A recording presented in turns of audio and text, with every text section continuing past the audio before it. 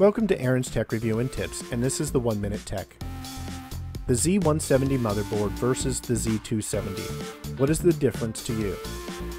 Well, it features improved SSD integration over the Z170. Here's a side-by-side comparison of the two. As you can see, both support the Kaby Lake and Skylake LGA 1151 socketed CPUs. However, the Kaby Lake requires a BIOS update on the Z170. DRAM, graphical support, and USB technologies are identical. Where the Z270 starts to shine is the additional four lanes of PCIe 3.0 available to it. Pairing that with the Optane technology only available on the 270 motherboard, you have a game changer in SSD integration. Why is Optane important to the Z270? It optimizes stacked solid state memory devices, the M.2, the U.2, the 2.5 SSD, and any add in card that you might add.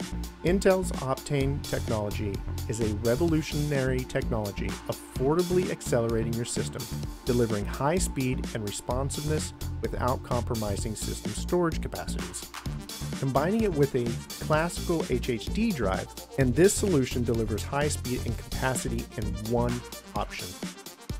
Intel Optane memory and a 7th generation Intel Core processor deliver a snappy PC experience with short boot times, fast application launches, extraordinary gaming access, and responsive browsing over the Z170.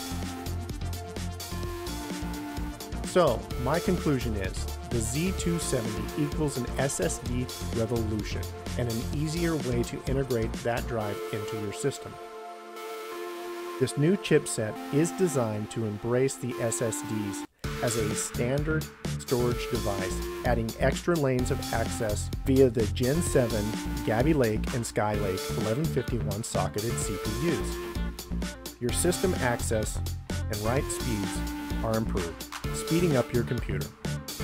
This new chipset will increase demand for SSD drives, thereby reducing the cost of SSD drives as you drive your gaming to a higher level. The Z270 motherboard is worth the upgrade if you are looking to upgrade that less than a year old Z170 motherboard. So I have to give this a thumbs up just for the fact of the inclusion of the SSD integration, creating a new standard of integration for the SSD drives. If you like this, why don't you subscribe? And thank you for watching.